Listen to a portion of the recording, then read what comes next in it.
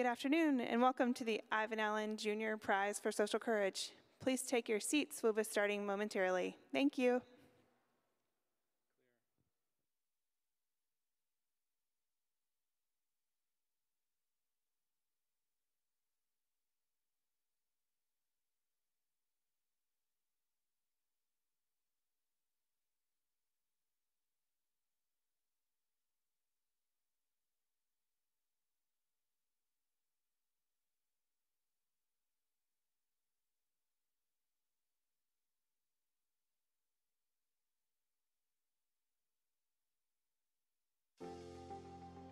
Georgia Tech established the Ivan Allen Jr. Prize for Social Courage in 2010 to honor a proud alumnus and former Atlanta mayor who took a stand and made a difference.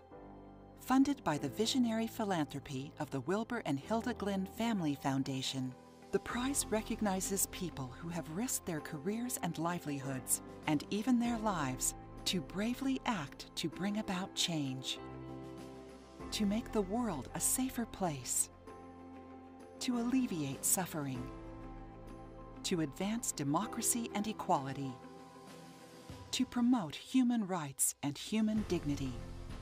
The prize honors their compassion, their refusal to quit, and their commitment not just to words, but to action in the face of challenges that seemed insurmountable. Mayor Allen's leadership and his advocacy for civil rights during the 1960s endure as a model not only for the people of Atlanta and the South, but for the nation and the world. The prize that bears his name underscores Georgia Tech's mission of improving the human condition. It is a testament to the power of acting on moral principle for the betterment of our world. And it is a reminder and an inspiration that progress and service are more than just words.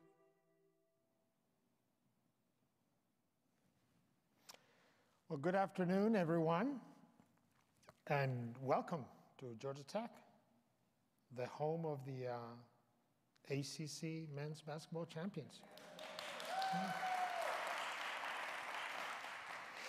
My name is uh, Angel Cabrera and I have the honor of serving as uh, president of Georgia Tech. And on behalf of our students, our faculty and staff, I would like to welcome all of you as we award the Ivan Allen Jr. Prize for Social Courage to Dr. Anthony Fauci. Dr. Fauci has served the American public for more than 50 years as part of the National Institutes of Health. He is one of the world's leading experts on infectious diseases and has worked for decades on the prevention, diagnosis, and treatment of some of the most devastating diseases of our time. He has advised every American president since Ronald Reagan, bringing the voice of science uh, to important health decisions and uh, was awarded the Presidential Medal of Freedom by President George W. Bush. Dr. Fauci served on President Trump's coronavirus task force and now serves on the White House COVID 19 response team. As President Biden's chief medical advisor, he continues to help steer the nation through the current crisis.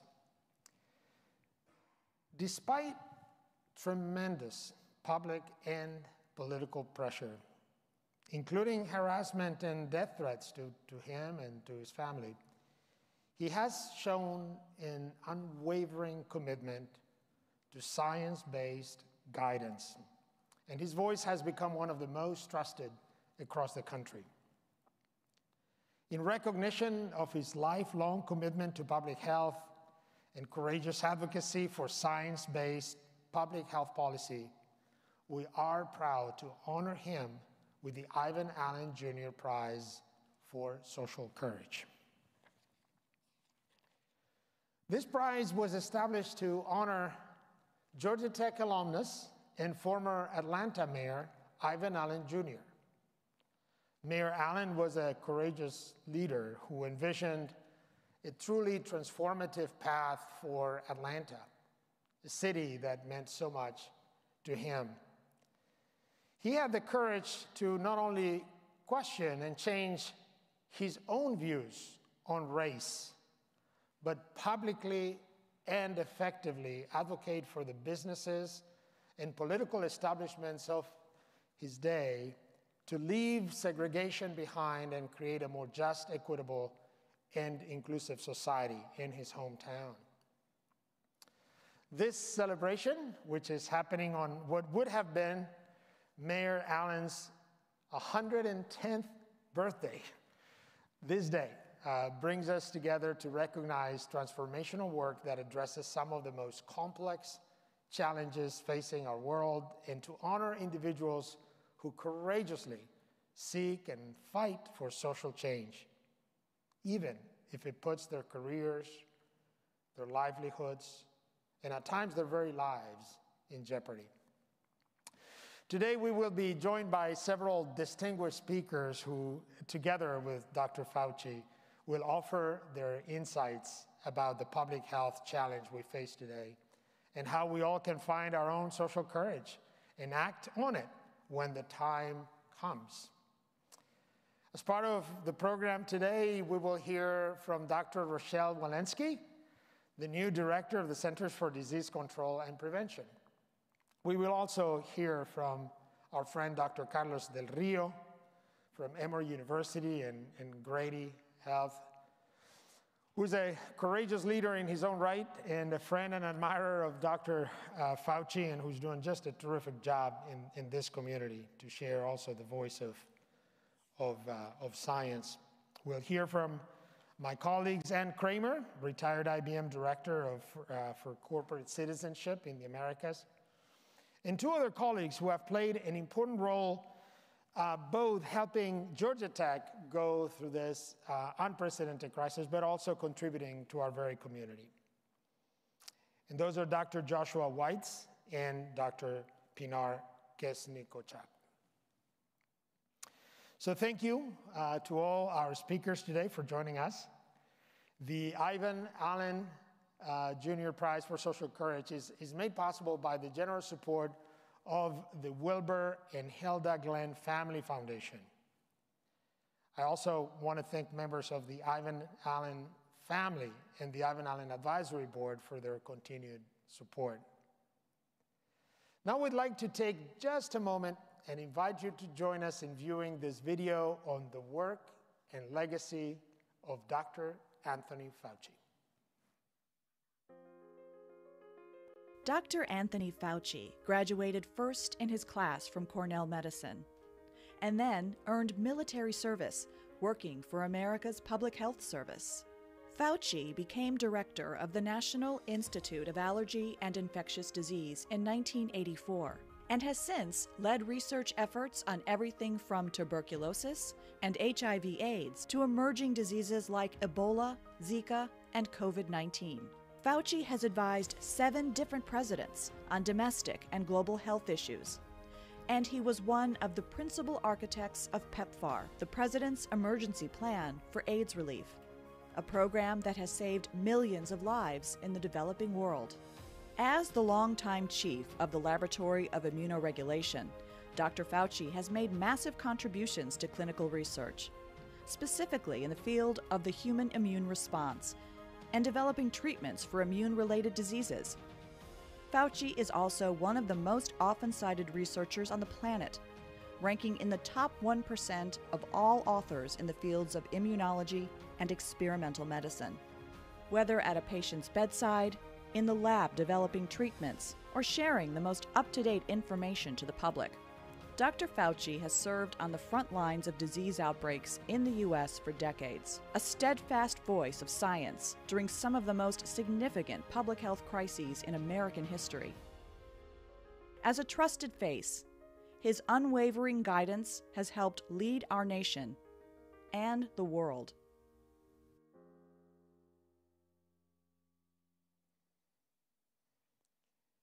Innovation, commitment, courage.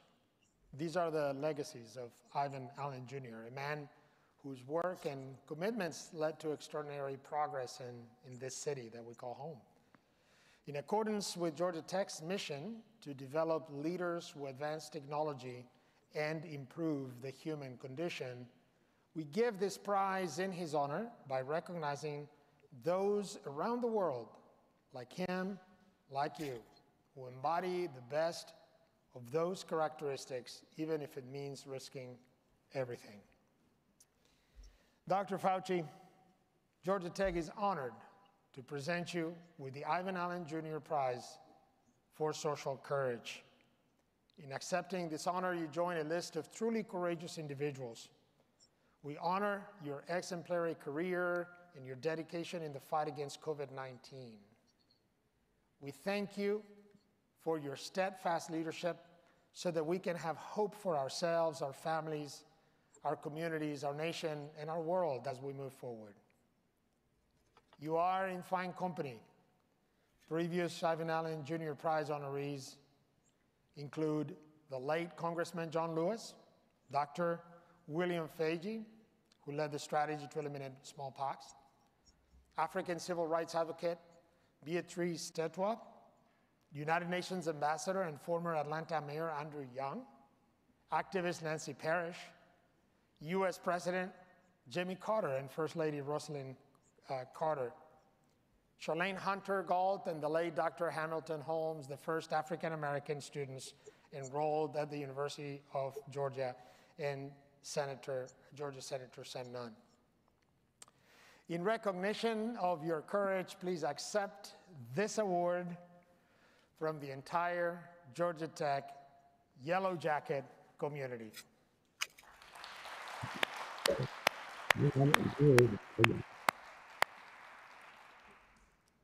Thank you so much for that very kind and generous introduction, Dr. Cabrera, and warm greetings to all of you assembled for this event. Reflecting on the courageous civil rights leadership of Georgia Tech alum Ivan Allen Jr. and the principled lives of all of the distinguished people who've received this prize before me, I'm deeply honored to accept the Ivan Allen Jr. Prize for Social Courage with gratitude and profound humility. Thank you very much.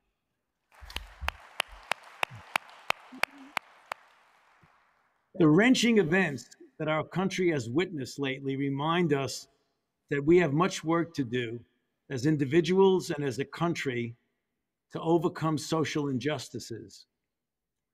Importantly, social injustices lead to health disparities. As made plain by the COVID 19 pandemic, the adverse effects of health disparity, disparities most profoundly affect people of color. As a physician, scientist, and public health official, my main goal is to preserve and protect the health and welfare of all Americans. U.S. global leadership in science means my responsibility extends to people around the world. In important ways, my education has shaped my life's work. I was fortunate enough and privileged enough to attend the Jesuit high school and college, and during college, I pursued a dual major in the classics and in pre med. The Jesuit environment promoted intellectual rigor, including precision of thought and economy of expression.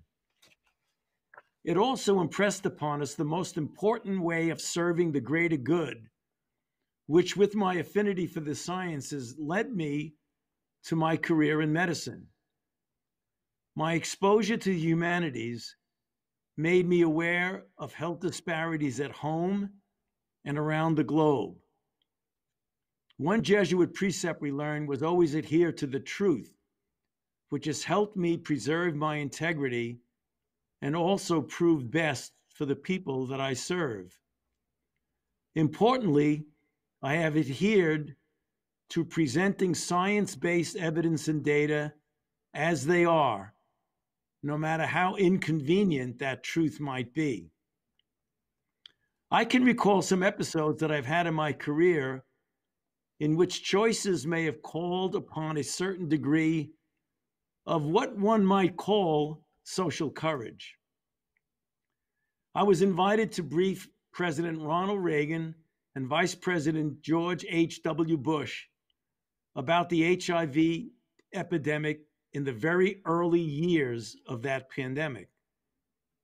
I told them the cold truth, realizing that they might either accept and respect me for what I've been telling them or get annoyed and never invite me back. However, good things came of that truth because this led to a warm and respectful relationship with the vice president who later became President George H.W. Bush.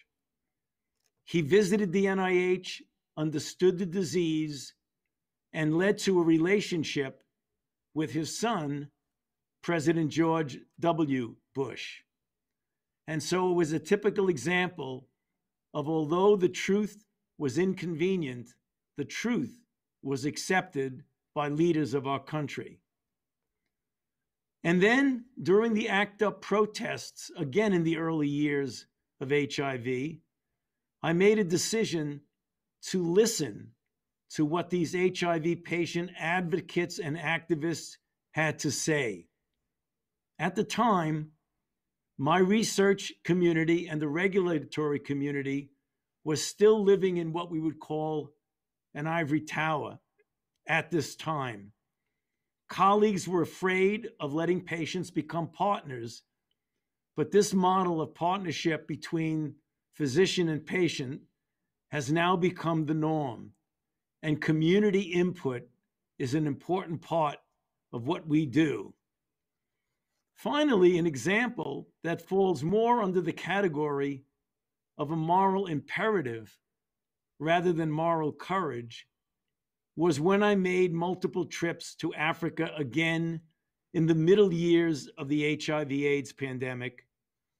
And I had the realization of the moral imperative of bringing life saving antiretroviral drugs to those most in need through what became the PEPFAR program that I had the honor and the privilege of designing at the request of President George W. Bush.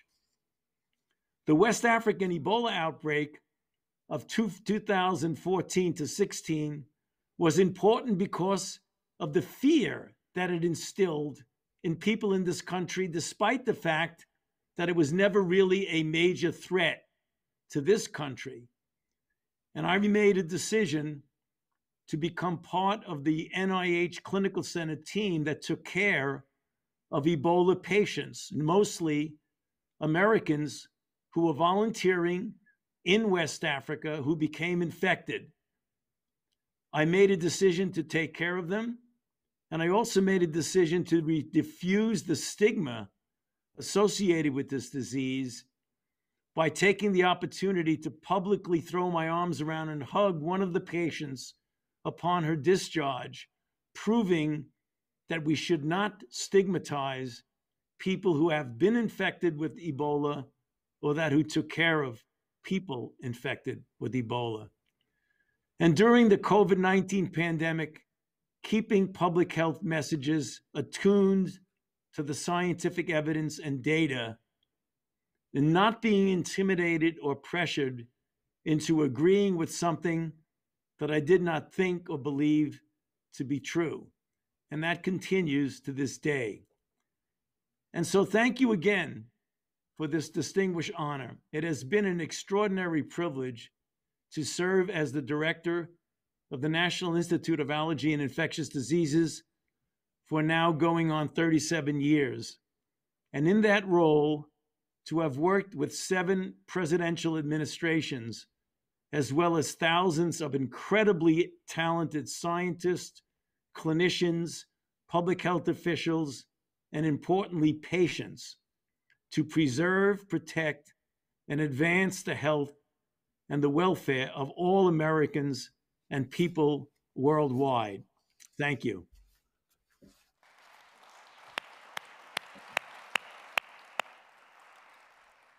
Thank you. Thank you so much, uh, Dr. Fauci, and, and, and, congratulations. And thank you for those uh, meaningful uh, words that will be a source of inspiration for uh, many of us in this community.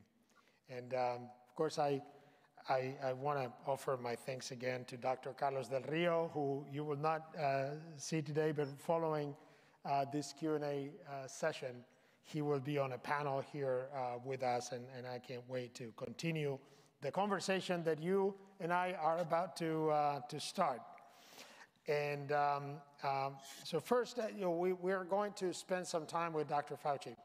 And, and we appreciate your generosity with your time to have this, this conversation about uh, your career and thoughts on the current health crisis. The members of our student body, our faculty and staff, have submitted questions and are excited to, to, to hear from you. So let me, I'll, I'll, I'll, articulate some of these questions and others we have videos where uh, some of these uh, people will ask their own questions. Um, so to be a good scientist, one needs to be many things, right? One needs to be analytical, conscientious, undeterred, smart. Well, this year we have learned that one also may need to be brave. And there is a long history of bravery in science. What does it mean to you, this need to be brave in, in science? Well, um, Dr.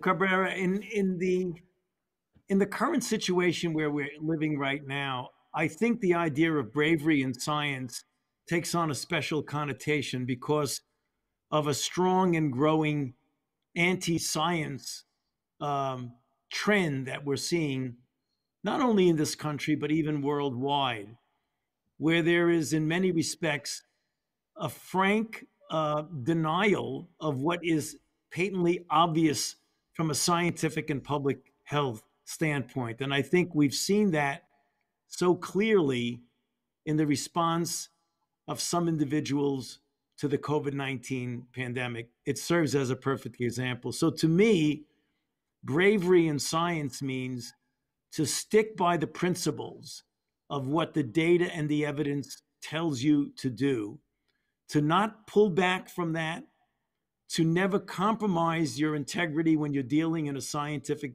situation, and to always, as I mentioned in my very brief uh, acceptance remarks, to make sure you always stick with the truth, however inconvenient or uncomfortable it means to some people. Because at the end of the day, the truth will always show. Thank you. We, we have a question from a, from a student. This will be also um, a Spanish exam for you. Hope you're ready for it. Hola, mi nombre es Alejandro da Silva, soy una estudiante de tercer año de doctorado en bioingeniería y mi pregunta para usted, doctor Fauci, es ¿cuáles son los principios que lo llevaron a la posición en la que está hoy día y que lo separaron de sus colegas en su carrera profesional? Alejandro is a bioengineering PhD student, and uh, of course he wants the your, he wants career advice from you. If there are any principles that may have helped you throughout your career and that have in retrospect, led you to be where you are today? Well, thank thank you for that question. It's a great question, and it's meaningful to so many young people at that particular stage in their career. The the principles that have guided me have always been to pursue what you feel passionate about, about what you really feel that you want to do, and not what you think other people may want you to do or think they want you to do. That's the first principle. The other is keep an absolute open mind to opportunities that might almost accidentally put themselves in front of you. And if you are alert enough, you can then seize these opportunities. You want to get a good background, a good education, to get good qualifications that you need by training. But once you have that, you are going to see, as I did in my own career, more often than not, the roads you follow are circumstances that you never would have predicted, but that just came in front of you as opportunities that will shape the direction of your career. Thank you. Thank you for, for that advice. Now, before the, the, the pandemic, uh, were there times in your career where you felt like you were taking great risk. I mean, you shared some of that insight uh, during your remarks, but uh, did you even think of yourself as particularly brave when you got into when you decided you were going to be a scientist? You know, uh, I, I am smiling when you when you say that, Dr. Cabrera, because I certainly don't think upon myself at all as being brave. I just do what I feel I need to do, and I don't connect that with the concept of bravery. Um, I've made some decisions that, in in retrospect, were a bit risky. Um, in the very much of the summer of 1981, I made a decision to completely turn around the direction of what was quite a successful career in medicine to pursue this very mysterious new disease that was appearing in our country, seemingly affecting a small number of mostly gay men. But I knew deep down that this was going to be much, much greater a problem than just restricted to gay men or even a small number of individuals. And my mentors told me that I was making a mistake studying this unusual, somewhat bizarre new disease. But nonetheless, I pursued ahead. And that has really been the defining element of my career has been HIV AIDS. We have another question from a Georgia Tech student, Kyra Halbert Elliott. You want to play it? Hi, I'm Kira Halbert Elliott, a third year biomedical engineering major. Dr. Fauci, service can be infinitely rewarding, but it can also be extraordinarily draining. Can you elucidate how, over a lifetime of achievements and service, you have maintained your commitment to service? What moments inspired you? What moments shook your faith? Well, th- th- that's a, a, what's a seemingly a simple but a complicated question. So let me try and, and be brief in, in, in the answer what what keeps me on course and not burned out or not discouraged is focusing like a laser beam on the importance of the problem that you're facing and that you're trying to tackle. It could be an individual sick patient who you most devote all of your energy and all of your skills to taking care of, which I have done thousands of times in my career. It could be a particular problem like a new outbreak, like Ebola or Zika or now COVID 19.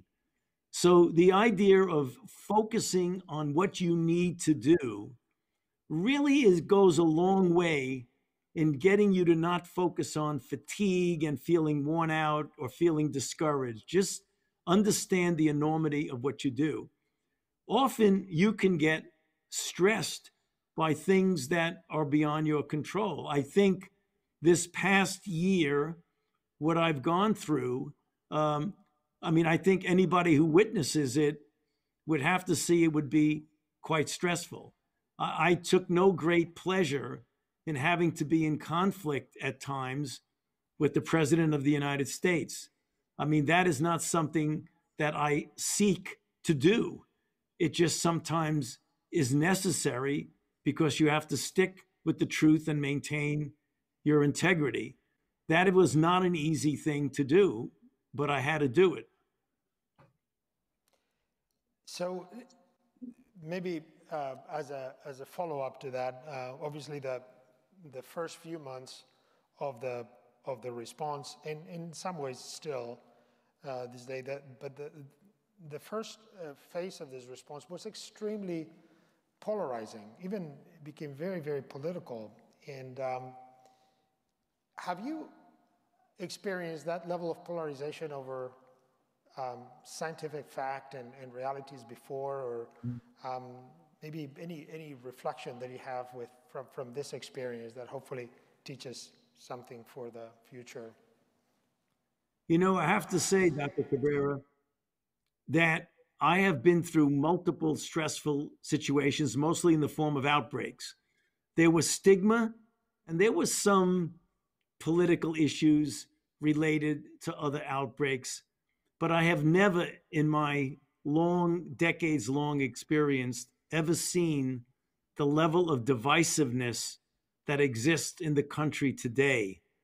where what should be normal, common sense, in some respects, no brainer type of public health issues have taken on a political connotation, which you don't need me to talk about. You just need to observe what is going on so clearly in the country today. That makes a lot of things difficult, but it is particularly uh, problematic when you're dealing with a public health measure in which there needs to be a uniformity of a consistent response based on fundamental sound public health principles. And when you have divergence from that, because of the divisiveness that we have in society, that makes it quite difficult to do what you need to do to address something as formidable as this pandemic that we're dealing with.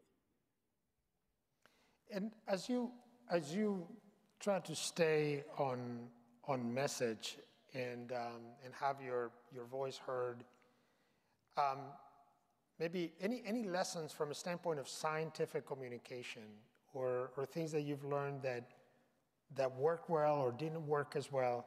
What what can we learn from from the in that in that incredibly polarized right. environment that you just described? What what can we learn? Yeah. Well, I think you mentioned the word communication, Dr. Cabrera. Communication is really very important uh, because when you have something as complex and as charged as this, you've got to be very consistent in being driven by the data. When the data change as you learn more and more, you sometimes have to change your position, your guideline, your approach to something. So it isn't that you're changing your mind, it's that the data are changing and you have to stick with the data. When you communicate, I think it's really very important to know who your audience is and to know what the message is. Don't give a garbled message. Be very straightforward in what you're talking about. And as I always tell my fellows and students and others, if you're a scientist and you're communicating with the general public, the goal is not to show people how smart you are. The goal is for them to understand what you're talking about. So, interestingly, uh, and by the way, we, we were having a conversation before the program started, which I suppose with my colleagues and, and Dr. Del Rio, we, we will continue later about this idea of, of being how do you show confidence, which people are demanding, if you will, or, or, or needing in a situation like this, while at the same time being humble about what we know and what we don't know, and, and realizing that the evidence may, may change, that will, of course, change. Any, any advice on that? No, does exist. Yeah. yeah. It's just what you said. You've got to be modest enough and humble enough to know that you don't know everything you need to know at any given time, particularly when you're dealing with a dynamic situation.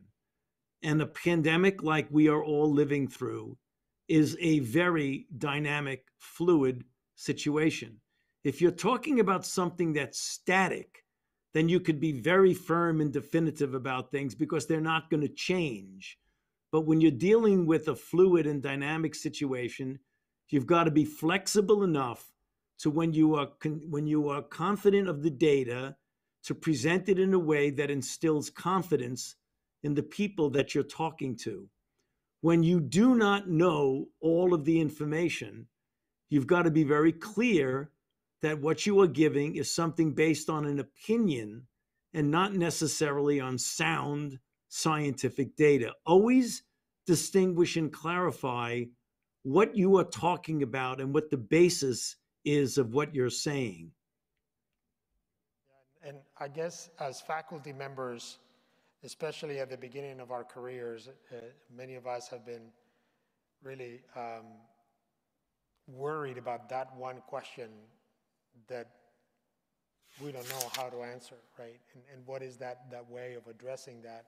And sometimes um, we probably dread that moment, not realizing that something as easy as saying, I don't know, would probably do the trick isn't it? Oh, absolutely. I mean, you should say that every once in a while, just to get, just to keep it fluid in your lips. There's nothing wrong with not knowing at all. We'll practice that. We'll practice that. Uh, let us go back to there, there's another uh, question from a member of the of the Georgia Tech community that we pre-recorded. Hi, Dr. Fauci. My name is Nettie Brown. I'm a third year biomedical engineering PhD student here at Georgia Tech, and my question is there's been a lot of recent discussion around vaccine hesitancy in the black community based on medical mistreatment in this country. Yet, recent polls show that white Republicans have more vaccine hesitancy. This is probably due to politics. So, my question is since they are a larger demographic, how should we push white Republicans to push towards getting vaccines to help our nation move forward? Thank you. Well, th- thank you very much, Natty. Th- th- that's a really important question. It's really kind of puzzling how you have groups of individuals who, seemingly based on uh, what's political ideology, are against vaccination. I don't understand that very well. When you have hesitancy in the African American community and the brown and black community, you respect that hesitancy because it's based on the fact that in reality, that demographic group has been mistreated historically by federally sponsored medical programs. We all know about the shameful situation with Tuskegee and even beyond that. So when I deal with African Americans, I show respect for their hesitancy and respect for their concern. And then, after I make it clear that I understand why they are hesitant, I go through trying to figure out what is it about vaccines for COVID-19 or vaccines in general that make them hesitant. One of the most common one is you went really very quick. I thought it takes years to make vaccines. You did it in less than a year. Was this cutting corners and is it not safe? And you explain that the speed is not related at all to cutting corners, but is a reflection of the extraordinary scientific investments that were made and the exquisite nature of the scientific advances that have taken place years before we started working on this vaccine. The other thing is are we sure it's safe and effective? And we talk about the independent bodies like the data and safety monitoring boards that independently look at the data and tell the public as to whether or not it's safe and effective. When they understand that, it's very interesting that you're seeing less and less hesitancy. I worry more about getting equity in access to vaccines for brown and black people because we want to make sure that they do have equity in access. With regard to the question about the reluctance of a disturbing proportion of Republicans of not wanting to get vaccinated, I really would like to learn a little bit more about that from them about what is it about this particular vaccine or getting vaccinated against a life with a life-saving intervention what about that do they have a problem with? And, and, and hopefully we can get into some sort of a productive dialogue about that. That might be a, a good advice for us in our own personal lives, because all of us confront those uh, conversations very often, right? With, with family members, with, with neighbors who may express that reluctance or hesitancy and, and, and hesitancy, and we don't know exactly where that might come from sometimes we, we have a sort of an immediate reaction of, of trying to, to, to preach or to, you know, sort of dump all the arguments and, and that, in my experience, hasn't worked very well. And maybe, maybe this idea that you're proposing, that, do you think it, it would work in that person-to-person conversation, or just trying to ask, what is it that makes yes. you wary? Of course, I think that's the only. If you confront someone, that's the easiest way of turning them off even more. So you've got to try and reach out to them and have them explain and try and perhaps to go back and forth with them about why you feel that the risk benefit ratio very, very strongly weighs in favor of the benefit. So, so um, I, there was a very interesting article in the Washington Post recently about um, uh, the many people who sort of take a selfie when they're doing the vaccine and they post it online. And some people get upset, say, why do you take a selfie, and whatever. And then some people is like, well, actually, if, if it encourages others to, to take it. I'm very excited because um, I'm planning to take my, my vaccine this week. And, um, and I was wondering, I mean, saying, you know, I have a, a, public job. Should I, should I document that and share it and, and, and use social media and, and, and tell people, hey, I'm taking the vaccine. I trust it. I think it's safe. I think it's, um, it's, uh, it's, it's very important for my health, for the people around me. What, what, what shall I do? You're my communications well, advisor all of a sudden. you know, I would suggest that you seriously consider doing that because, as the president of a prestigious university, I think that there is going to be a substantial number of people who could be influenced by seeing you in a leadership role do that. So I think that would be well. I did that myself. I I took I had the press take a picture of me getting vaccinated at a time when there was even more concern on the part of people whether it's safe. Now that there have been over 107 million vaccinations given in this country, uh, with 10% or 12% of the country fully vaccinated and over 20% having at least one vaccine. People feel much more comfortable about it, but back then they didn't. And for that reason, I did have a picture of a nurse putting a needle in my arm, giving me a vaccine. Well, and, and then the, the, the other part of this interesting conversation that we're all having is um, uh, well, first of all, we I don't even know if it's appropriate when in casual conversations we ask, have you been vaccinated or not? And then if you ask the question, then the next question is, which vaccine did you take, right? And, um, and does it matter, first, does it matter what vaccine do we take? You know, it does not, because we have now uh, three vaccines, Moderna, Pfizer, and J&J, who have been given emergency use authorization on the basis of a very high degree of efficacy in preventing mild to moderate disease and a very, very good track record of preventing severe disease, including hospitalization and death. You shouldn't be trying to compare one with the other. The only way you can adequately do that if you if you compare them in a head-to-head comparison in the same clinical trial. And that wasn't done. So just know that we are very fortunate to have three highly efficacious and safe vaccines. So my recommendation is go to a facility near you or one that calls you and says you're now eligible to get vaccinated. And whatever they happen to have, take it because it's important, first of all, to get vaccinated, not to wait two weeks or a month for the one that you think may or may not be better. Take the one that's made available to you. Although, although if, if they give me the Moderna, they gave me two shots. Johnson & Johnson only one shot. Shouldn't I want the one that gives me two shots? Seems like I'm getting more stuff. Well, no, no, no actually, that, that's a good question. Mm-hmm.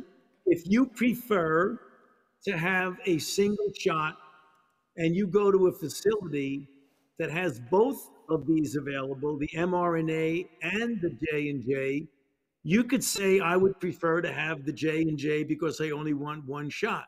There's nothing wrong with that.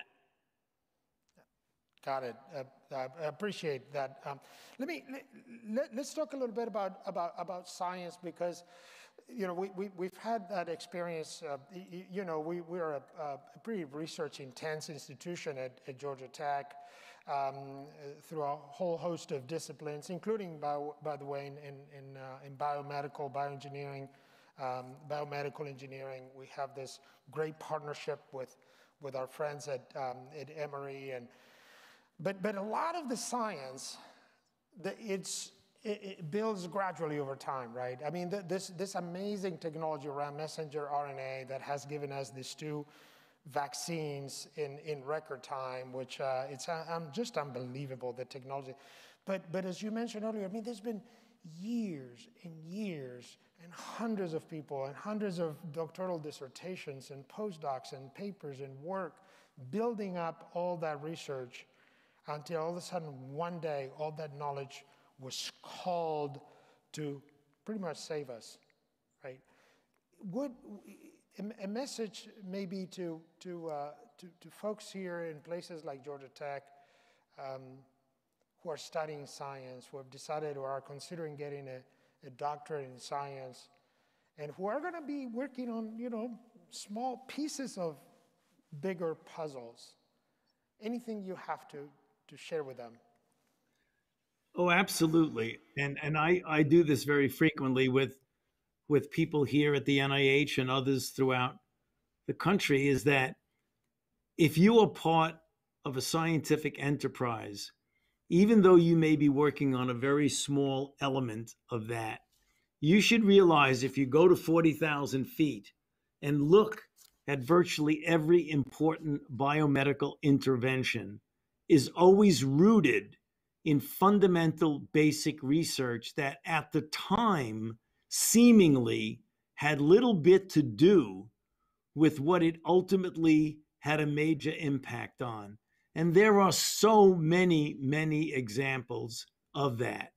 People working on receptors on the cell for lipids and triglycerides and other uh, areas uh, and, and, other um, uh, elements of, of the body's ability to get involved in metabolic processes led to drugs that have important impact on diminishing the risk of cardiovascular disease, the lipid lowering agents. You know, people like David Baltimore and Howard Temin working on this reverse transcriptase enzyme years and years ago what impact that ultimately had on molecular biology and understanding HIV. People in the laboratory working on RNA realizing that messenger RNA can actually be a platform for vaccinology. We could go on all day giving examples of people working on very, very specific issues that ultimately get translated into something that could be transforming when it comes to personal and global health. Yeah, in, in our uh, experience this year at Georgia Tech, and, and I'm sure it's not the exception, and, and many other institutions like ours across the country, across the world, that they've, I'm sure, experienced similar things. But very early on, our, our faculty, some of the ones who will follow this conversation on a panel, um, they came to us and said, listen, you know, to be safe, we've done all the statistics and we need to test everybody every, every week say, okay, well, that's an interesting, that, and, and that's a very interesting idea, except that we don't have a medical school. We haven't done a clinical test in our life, never. How are we going to go from that? I do the numbers, you know, how are we going to do that? They said, well, we, we can figure this out. Um, then I, you know, my concern was, again, if we use the nasal swab, um, I haven't had the pleasure, but I understand from many others that once you do it once, you don't just repeat it for pleasure. Um, she said, no worries. Well, in very short time, my colleagues came together. They designed this, you know, way of extracting RNA from saliva, which my understanding was not is not the easiest thing to do, in a massive way. Scaled it up. They used this double pooling process, so we, the whatever capacity we had, we could do uh, many, many more tests by double pooling, and I don't know. They've done some crazy stuff. Uh, they, they programmed a, a, a, platform. Oh, this is not just a plug. It is a plug. I'm very, very proud of what they did. uh, but, but it is to say that this experience, honestly, showed, first of all, brought all these disciplines together and gave us this incredible sense of impact. What we do matters. That you may not realize it at the time when you're working every day in the lab, but when things got really ugly and scary, science and technology was all we had. And it was in, somehow, I, this is more of a, an open reflection, not necessarily a question, but, but I'm, I'm trying to figure out how do we keep the spirit? There are lots of things of 2020 that we want to leave behind as fast as we can, but how do we keep some of these profound lessons that we've learned this year and keep them going. Anyway, don't mean to. I guess I too late.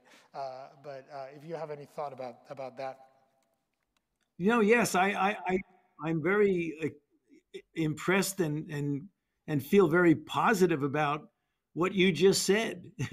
so you semi apologize for it. You shouldn't because that's exactly the spirit that you really want to foster in people who are in science. It's it's exactly what you said. If you look at what is rescuing us from a public health challenge, the likes of which we haven't seen in over 102 years, it really is the science.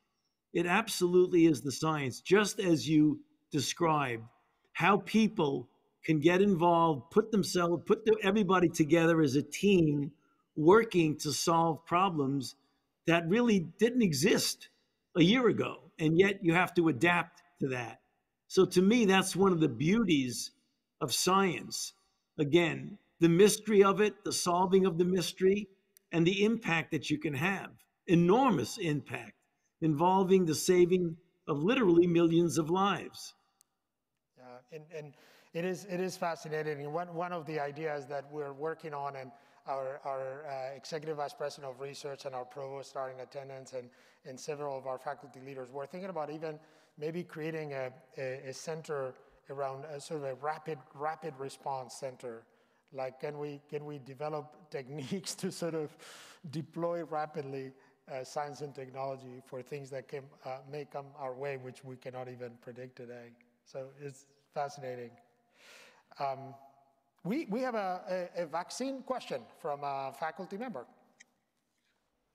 Dr. Fauci, thank you for your service to our country. I'm Vinayak. I'm an assistant professor in the College of Sciences in the schools of chemistry and biochemistry and biological sciences. My question to you is the following. COVID-19 is caused by a virus that mutates. If so, are we looking at a vaccine shot yearly, just like we do for the flu?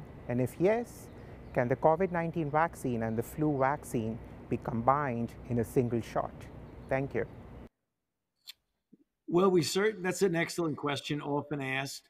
It is entirely conceivable that if we have the continual emergence of new variants, that we may need to either boost with wild type to give a bigger and larger response of antibodies that could spill over and uh, affect the variant. Of course, we know that our vaccine right now is very good against the 117 variant, not necessarily as good against the South African 351 variant, but we may actually need to intermittently boost. If that is the case, and it turns out, and that's a big if because we don't know, but if it does turn out that we need to boost intermittently, it is entirely conceivable that you would want to combine that with an influenza vaccine on a yearly basis. I hope we don't have to do that.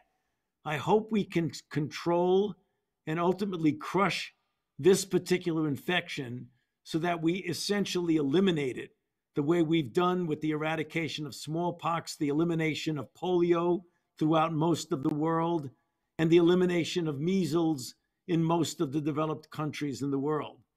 But we don't know. We don't have enough information right now to know whether or not we're going to have to come back with booster shots, which is the reason why we follow it so very carefully, literally in real time. And um, we have another uh, question from a member of the Georgia Tech community. You want to play that? Hi, Dr. Fauci. My name is Jathan Caldwell, and I'm the External Vice President of the Society of Hispanic Professional Engineers here at Georgia Tech. My question for you is, with healthcare in the United States still perpetuating one of the greatest areas of inequity for communities of color, where do you see the most opportunity for progress? Thank you. Yeah.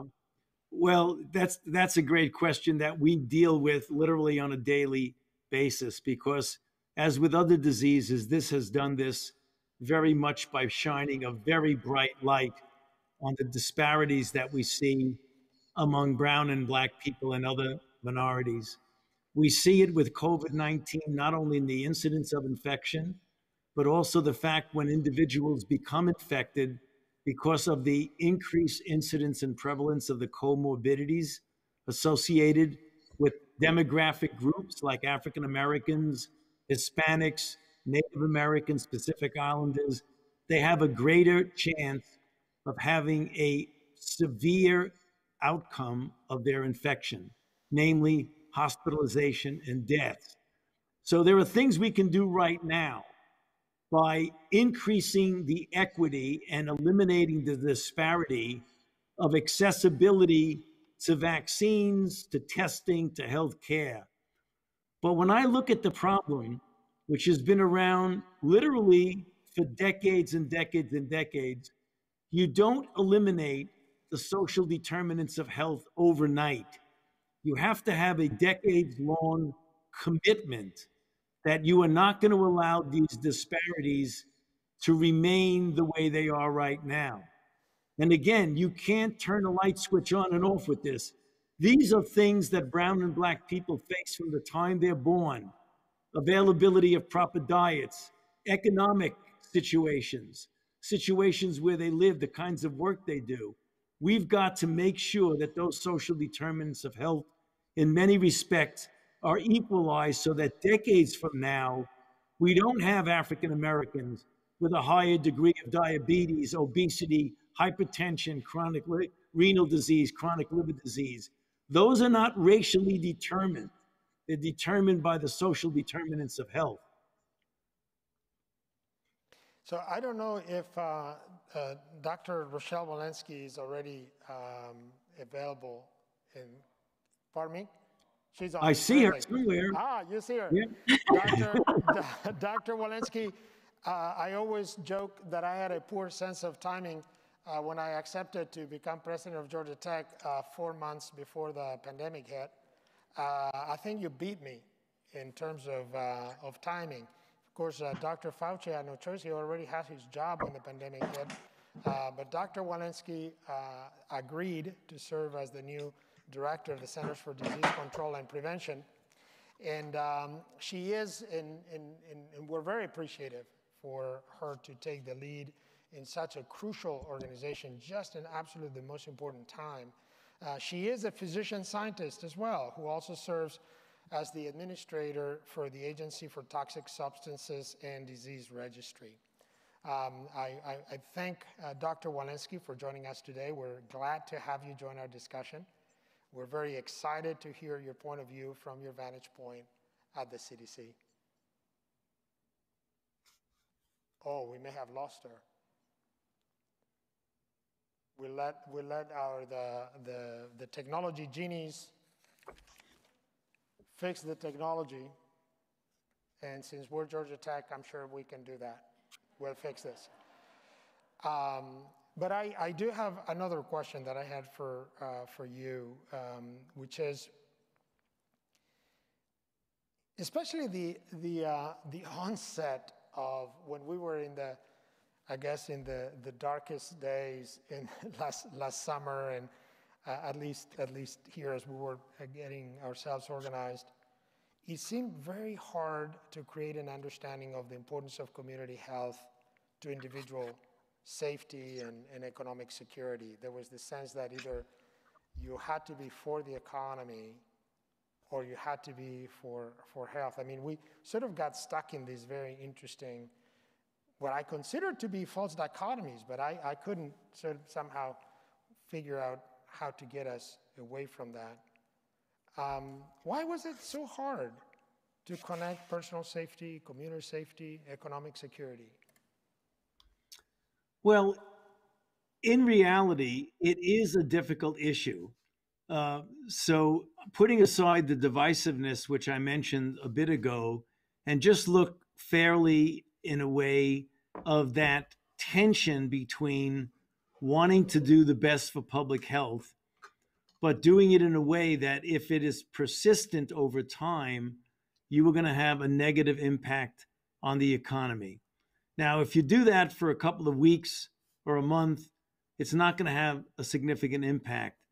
But the extraordinary nature of this outbreak required not only us here in the United States, but virtually every country in the world to essentially shut down, which, if done over a prolonged period, has a very negative effect, not only on the economy, but also on things like schools and having children not being able to safely go to school.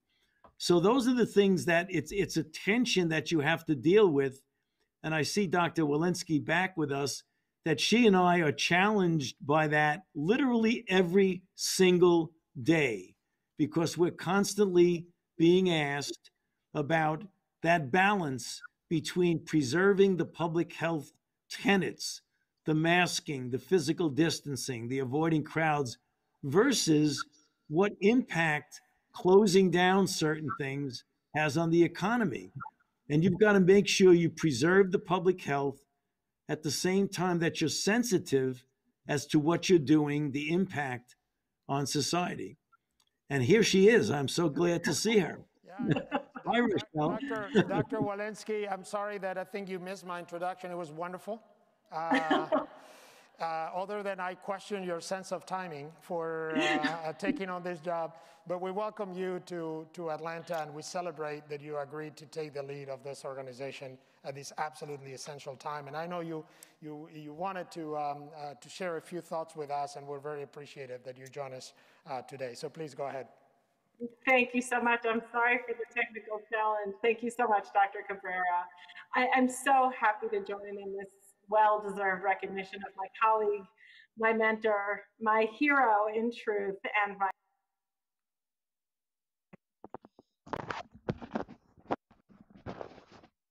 oh gosh, I, we were about to hear the.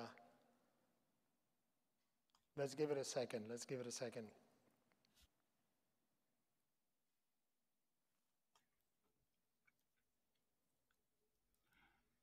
I might need to recruit Dr. Del Rio to join me here. But just warning you, Carlos. Let's give her a second.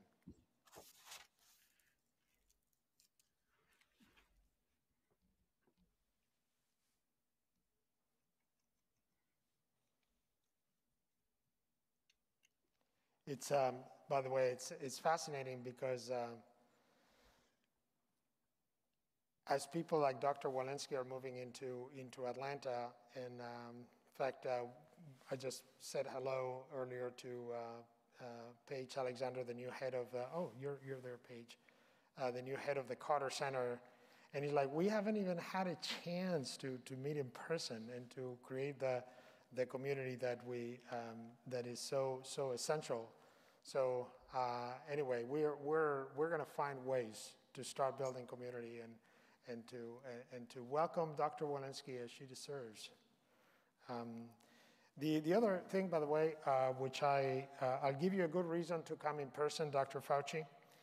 My, I, I have an excellent uh, intelligence service here at Georgia Tech. And uh, my understanding is that you love a good hot dog I do.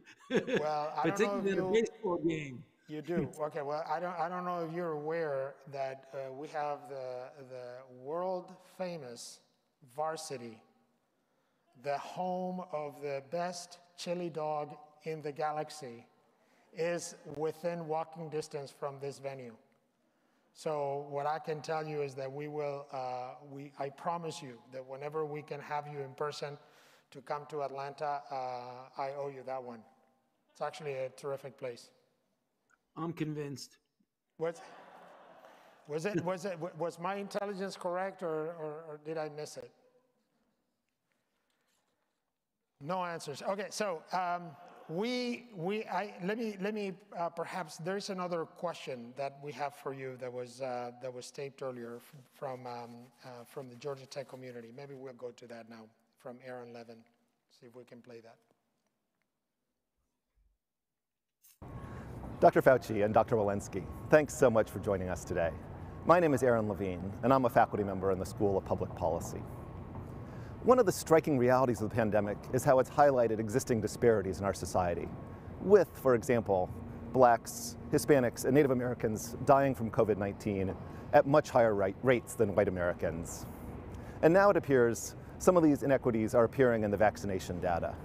My question is what can we do to prioritize vaccination among those most affected by the pandemic? Yes, thank you for that question. And that is something we are paying very strict attention to is to get the equity such that we completely eliminate this disparity of access.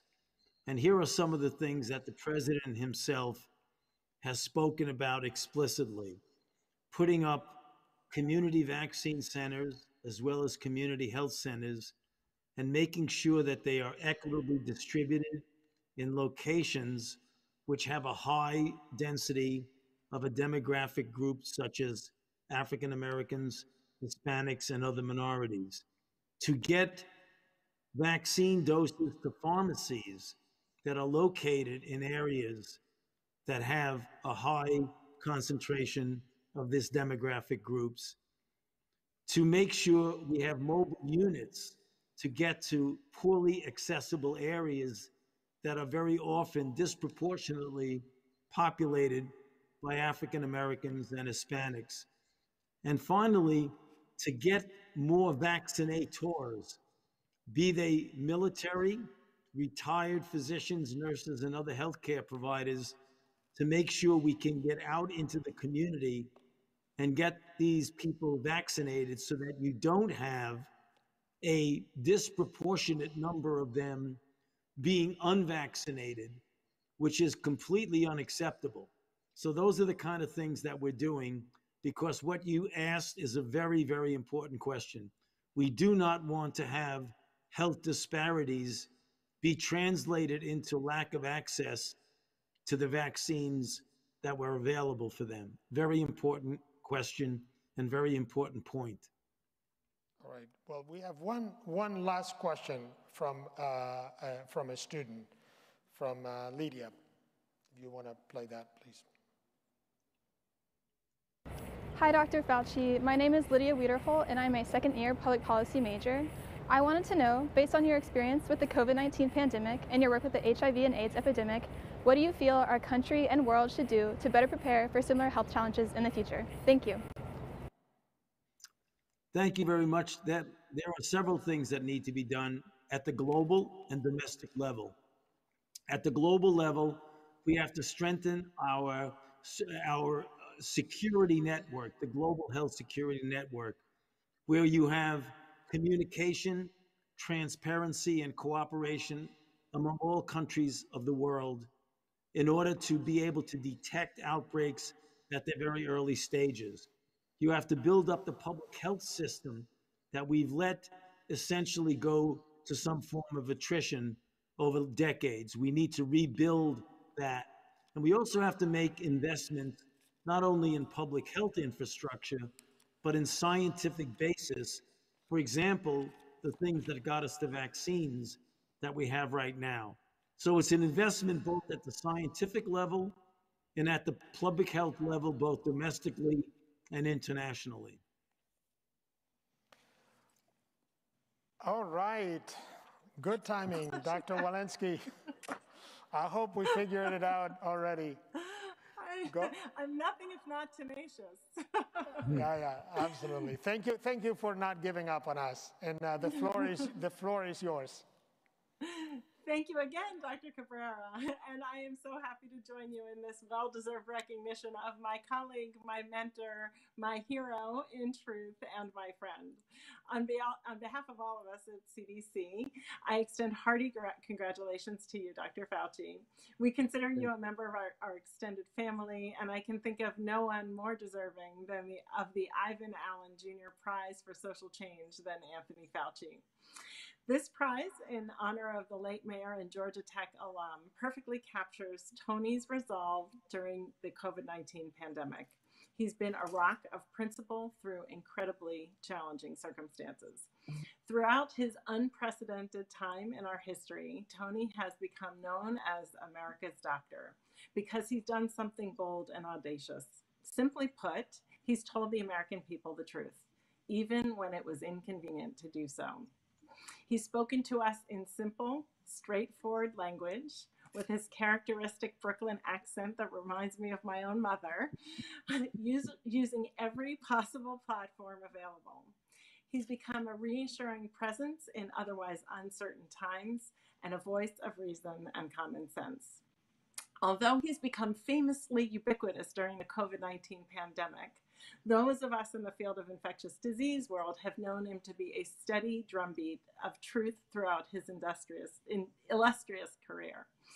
Um, I told Tony this this anecdote the last time I introduced him when he gave medical grand rounds at Mass General. I can vividly remember the first time I met Dr. Fauci. I was giving my first oral presentation at the retrovirus conference, and Dr. Fauci came up to meet me afterwards, shook my hand. Um, I was shaking. I shook his hand, and then I turned to a colleague and I said, "I'm never washing that hand again." Um, and that was from an infectious disease doctor. We in the field of infectious disease are not at all surprised that he has risen to the forefront in this time of crisis. He has done so so many times before. During the HIV AIDS crisis of the 1990s, as I was starting my own medical career working in hospital wards in Baltimore, he was leading the revolution to treatment. In fact, and he just told you this story, he opened the door to a new paradigm of patient advocacy and giving community a voice. When AIDS patients and their loved ones were protesting in die ins outside his office at NIH in the 1980s, Tony's response was please let them in. I want to hear what they have to say. This moment of openness, this moment of humanity, changed the course of advocacy in health and set the stage for having community and patient members on guidelines panels and advisory committees. It is such a critical voice that we listen to every day now because of that one act from Tony. Since those dark days when AIDS was a certain death sentence, we have witnessed the evolution of a deadly disease become a chronic one, where people not just manage, but thrive, thanks in large part to the efforts of Dr. Anthony Fauci. Any infectious disease has a worthy opponent in Tony because he never gives up. He never gives in, and it is my privilege and honor to work alongside him now on the White House COVID 19 response team. He's truly deserving of this award, and now I look forward to joining the conversation. Thank you. Oh, Congratulations. Thank, thank, you so much, Dr. Walensky. Thank you, Bill. so, um, well, I mean, just the way uh, you felt when you met Dr. Fauci, I think that that reflects the way many of our students would look up to you, Dr. Walensky, in your current responsibility. So, so, um, so what would be, um, uh, both, this is a question for both of you. What's your charge to this new generation of, um, of students, again, at Georgia Tech, but in institutions around the world, who may be studying basic science, or they may be studying bioengineering, or, or, or computer science, or public policy, um, or, or any other area based on what we have learned. What's your, what's your charge? I mean, you're, you are our, our, our heroes. We look up to you. We, we, we have, so what, what is the charge that you have for this generation, this new generation? Go ahead, That's Rochelle. very simple, very simple. All right. You know, um, I am personally an infectious disease doctor because I was motivated by people who were dying in front of me in the mid 1990s um, because of HIV and AIDS. And I would say um, I can imagine this generation and the and your students um, will and should be motivated by this period of time and what is happening in this period of time. And it's a coalescence of um, of a pandemic and people dying in that pandemic and true inequities and how we care for people in our society and, and how health has is, is so disparate. And so I would say um, to be inspired. Um, I am going to spend the rest of my career trying to do good in global health. I'm going to spend the next few years getting us out of this pandemic. I hope it won't take that long. And to then make up for so much of the collateral damage that has happened because of this pandemic. Um, but the health inequities have taken um, taken decades and centuries to occur, and it is not necessarily going to be me that is going to um, be the. It, it, won't end with my career. It, it, has to end with with young people being motivated by seeing what is um, happened during this pandemic and and working to get us all. Um, uh, improve health for, for the whole world um, and, and to solve some of these inequities that have happened. Thank you so much. And you, Doctor? Yeah, well, certainly uh, to just underscore and agree totally with what Dr. Walensky has said, but you know, for the students of Georgia Tech, listen to what what Dr. Walensky had said, but also for your own personal feeling of what you do. Not every scientist at Georgia Tech is going to be a biological scientist because you go well beyond biology. Just the idea of the field of science. Dr. Walensky and I get our thrill in the discovery and the implementation of things that maybe we were not known 10 or 15 years ago and applying it to health. As a scientist, be it in the biological sciences, the life sciences, the physical sciences, the idea of discovery, of, of learning something that maybe was never fully appreciated before, is such an extraordinary uh, positive feeling. Uh, we get it when we take care of a patient and we see the patient get better. We get it when we see something happen, for example, having an outbreak turn the corner and come down. Those of you in other areas of science are going to get the same sort of a thrill when you do something that advances your own individual field. So I just can't think of anything more exciting than being in the field of science, whatever area of science you're in. If it suits you to be in science, there's nothing more exciting in my mind than that. So go for it. Thank you both.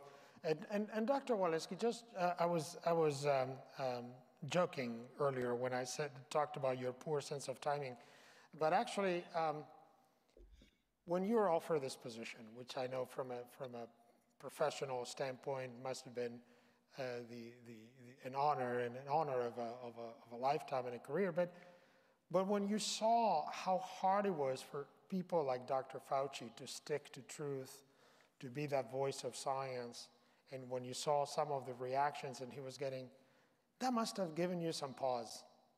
So we, we, we, um, we had lots of questions for Dr. Fauci earlier about his sort of source of courage. Where did you get yours to say, yes, I'm up for the challenge? Bring it on. Um, I'm not sure it went exactly like that. you know, um, I, when I received the phone call, um, I was surprised. I have to admit, I, I, wasn't expecting the phone call saying "come lead the CDC," but but um, you know what I what went through my mind is somebody feels like I can be helpful in making a difference here, and um, the answer can't be no because we're in a really bad spot. And if I can be helpful to make a difference, then that's my job. That's what I have to do.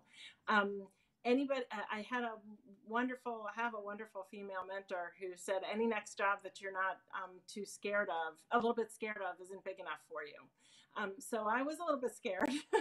I remain a little bit scared. Um, but in fact th- this is a big job and we have a lot of hard work. I have an incredible mentor in dr fauci who's been who's been uh, helping me through it and an incredible team at cdc i also um, have been very clear and was very clear when I started that um, they were going to get my honest opinion whether or not they liked it, um, and that they were going to, uh, and then I wanted to be sure that science was going to be leading the way, and that I was going to be able to convey that science.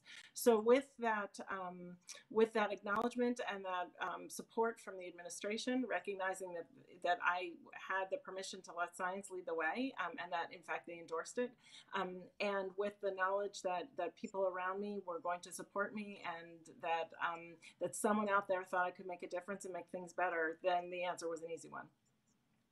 Well, thank you, thank you so much. I, how I wish I could be a fly on the wall when the two of you meet by yourselves to discuss what's going on, and uh, I won't uh, make you replicate uh, those conversations here.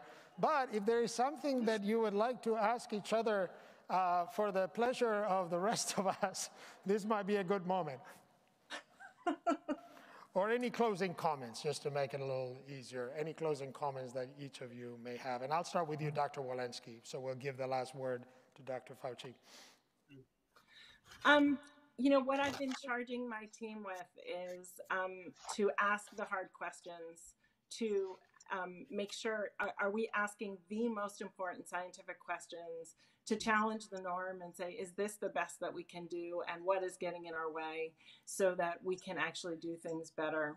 Um, we're spending an extraordinary amount of time on, um, on how we reach hard to reach populations and how we, how we um, achieve access, proper access.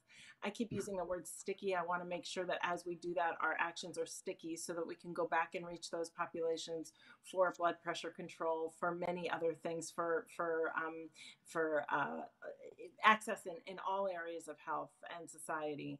And so um, I would just say, um, ask the big questions um, pursue what what uh, keeps you up at night because um, you you want to pursue that big scientific question. And um, I'm just so very grateful for the team of incredible scientists I have around me, and um, that very much includes and is led by Dr. Fauci. Well, well, thank you very much, uh, Dr. Cabrera. I, I, just would like to, to close my, my own comments with saying I, I very much appreciate having been chosen as the winner of the Ivan Allen Prize for Social Courage for this year. But whenever you get a prize that calls you out as an individual, you absolutely, at least I know, and I sincerely mean this, all it does is remind me of the extraordinary group of people that I'm surrounded by, that I deal with every day, including and particularly Dr. Walensky, who has been very generous in her praise of me, but she is, by anybody who has anything to do with her, knows that already she's emerged as a superstar in this endeavor that we have. She's at an organization that's an extraordinary organization. I mean, the CDC, who over the last year has taken some hits, is a phenomenal organization. We are lucky in this country to have the Centers for Disease Control and Prevention, who are leading us now towards the end game of getting out of this pandemic. The same holds true for all of my colleagues at the National Institutes of Health. I mean, I get a lot of attention, but there are thousands of my colleagues who are there doing what it takes to get the job done, not only at the NIH, but the grantees and contractors who are NIH grantees, of which Dr. Walensky was one not too long ago. That's the team that I think our country needs to realize that you may see one or two of us around, but the fact is that there are thousands of us at the CDC, at the NIH, at other organizations that are really pulling to get the country out of this terrible outbreak that we're in. So I feel very privileged to be a small part of that extraordinary team and including including what Rochelle mentioned, the amazing team we have now at this administration, the medical team that we deal with every single day, literally every single day, is both a pleasure and an honor to do that. So I feel very, very good about what's going on. So thank you for well, giving I, me the opportunity to make those comments. Thank you. Thank you both. And, and please know that as, uh, as scientists, as, as researchers. Um, we respect you. We appreciate you both. Um, we need you to be widely successful. Um, you know, there's a bright light at the end of the tunnel, but we're still in it. Um, and, um, and, and we're here, we're here to help. Dr. Walensky, we owe you a warmer, more personal welcome to Atlanta. Uh, we, we, are, we will plan something uh, fun for you. Uh, Dr. Fauci, we owe you that uh, world famous hot dog when we can uh, arrange your next trip to Atlanta.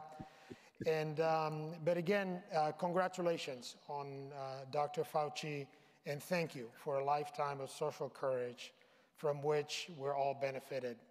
Hearing your story and your insights have left me, all of us, really feeling encouraged, inspired, and optimistic. We're so grateful for the time we've had with you today and look forward to a day when we can gather in person.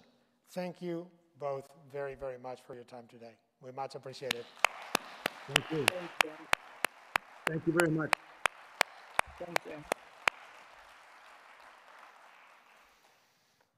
All right, and now uh, for the uh, remainder of the program, we are honored uh, today to, to be um, in, to, to have three incredible um, four experts, one moderating, the other three, um, for which I'm sure uh, they have been as inspired as I have been uh, by, by the remarks from Dr. Uh, Fauci and then from, uh, by Dr. Walensky, and I really can't wait to hear um, their reflections on what we just heard.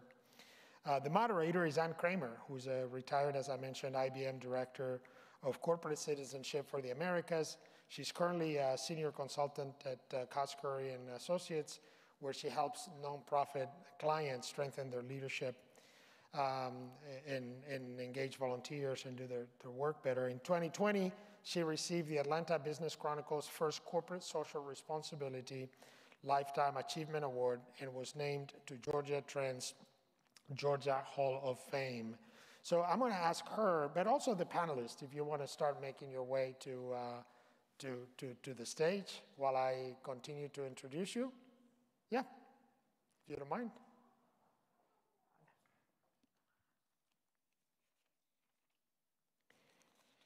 So um, the panel, thank, thank you so much. Thank you, Anne.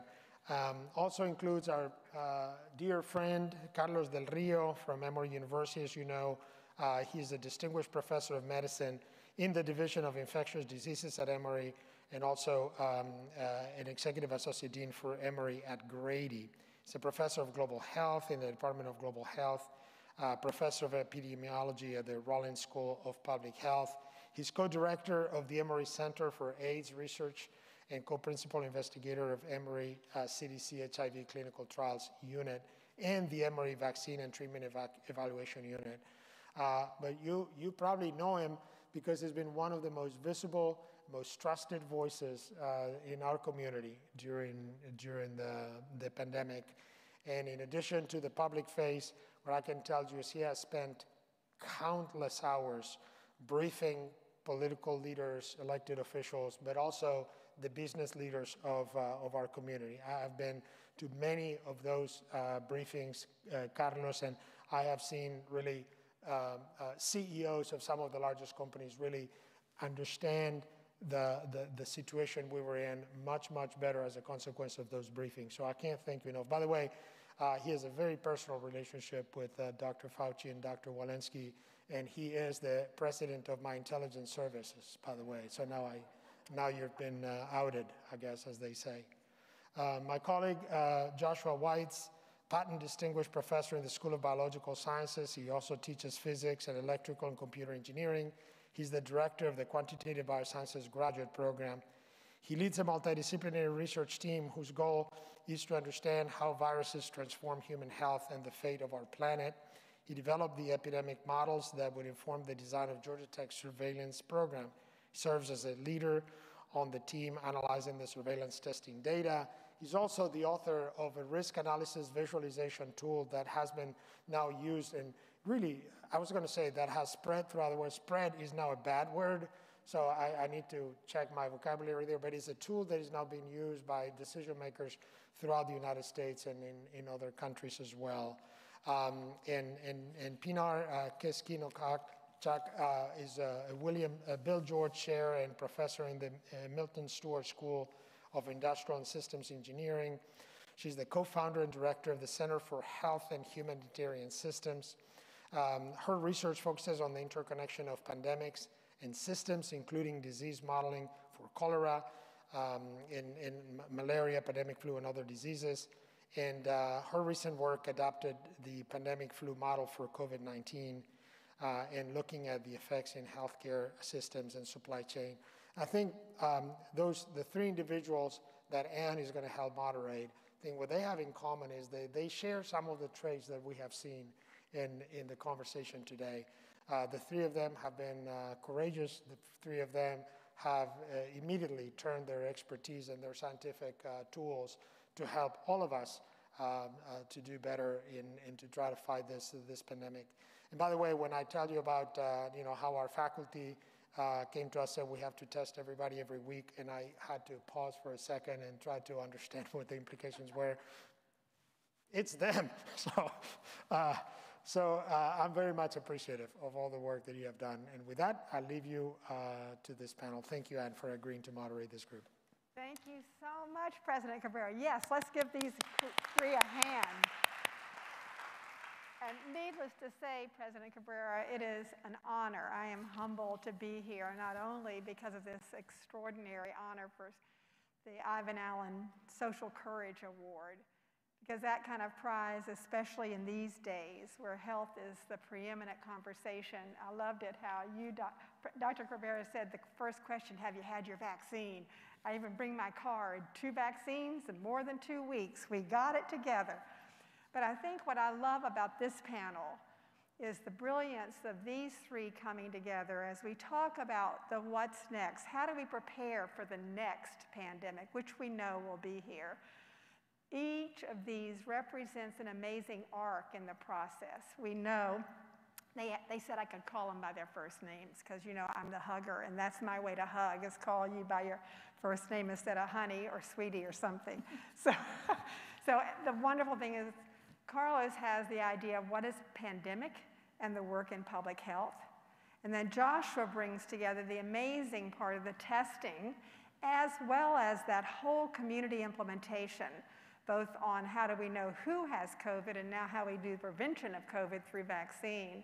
And then I love it when we've got the whole idea here with Pinar, is that she represents this supply chain and therefore the vaccine distribution. So together from the understanding of the pandemic and through public health, and I loved how Dr. Fauci said those two primary areas, we're not only building up our public health institution and systems, but also the science and the research that will get us to the better understanding to have the facts to be able to prevent and or understand how to be prepared for whatever comes next. So we're going to ask them a couple of questions. I've told them all they're enthusiastic, quick, and punchy because they have the real essence of the hope for who we are as a community, and especially today with social courage. These three have, have evidenced, evidenced it as well. So, first, to you, Carlos, from your perspective, your vantage point, Tell me what you think is going to happen relative to being prepared for the next, whatever the next is. Well, you know, I think the first thing, Anne, is we have to acknowledge that we fail in this in the response to this pandemic. And yet we thought we were prepared. We had pandemic plans, we had all sorts of, of things that, you know, in, in a global security index, the US was ranked as number one as being the country most prepared and yet we have had the, the country with the biggest failure, right? We represent less than 5% of the world population. We're about 23, 24% of cases and of deaths. So obviously, we have to recognize that we fail. And then we need to see, well, why did we fail? What parts we were not able to prepare for? And, and the number one failure we had as a country was a failure of leadership. And because leadership uh, is critical at a time of crisis, and, and everybody in the business community knows that, and when you don't have the right leader at a time of crisis, then you're going to fail. And unfortunately, you can't prepare for leadership. Leadership just happens when the pandemic occurs. So you're not, you can't say, well, let's plan my pandemic so it happens exactly when I have the real leadership that I need.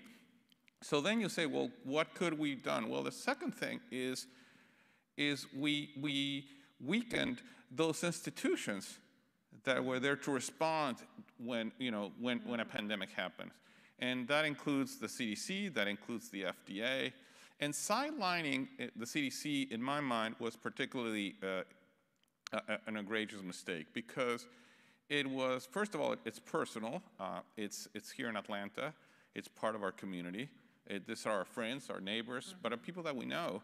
And we know the expertise and we know the, the, the value that's, that, that CDC has as a global health agency and to see CDC essentially be moved out of the, of the, of the response from very early on, in my mind, was, uh, was clearly one of the greatest mistakes we made. And the, you know, the third one is that we, we did not lead, let science uh, uh, guide the response. We let politics guide the response. And, and as, as, as Dr. Jim Curran says, you know, public health has always been political. Politics is part of what we do but, but it has never been partisan. And in my wildest dreams, I would have never dreamed that a face mask will become a political symbol. Mm -hmm. That a vaccine today, people are talking about whether there's more, you know, hesitancy in Republicans or here or there.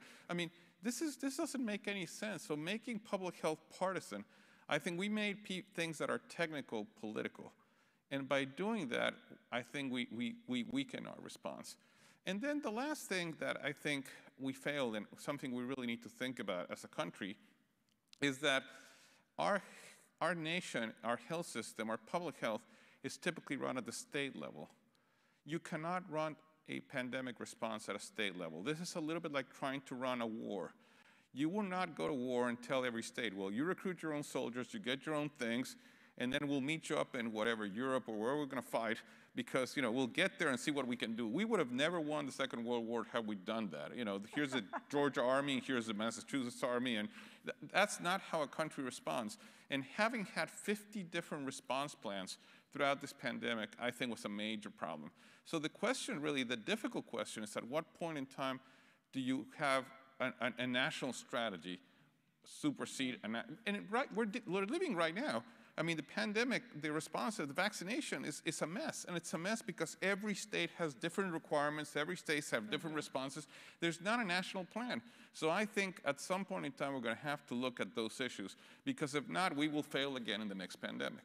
So, but I love it. It's that whole leadership thread with the expertise, the science, and then the execution. So I love it. So thank you very much because that leads us to Joshua as we talk about testing and so beautifully looking at community implementation, what do you see? Well, we learned a lot from this pandemic, and some of what we learned is that we had to build things on the fly. And so, in thinking about where we are now, and it's important to keep in mm-hmm. mind, we're not done, and I think that's going to be a theme we heard partly today. Yes, we are moving towards hopefully an end game, but we can't give up those things that have eventually been shown to work, like masking and distancing and testing as part of an integrative approach to keep cases down, even as we get immunity the right way, the safe way through vaccines. So when we look forward, I think that investment of the things that have worked have got to be in place earlier. And if we're going to reason given uncertainty, because what happens often early is we have to make decisions using limited data, but then the data is key.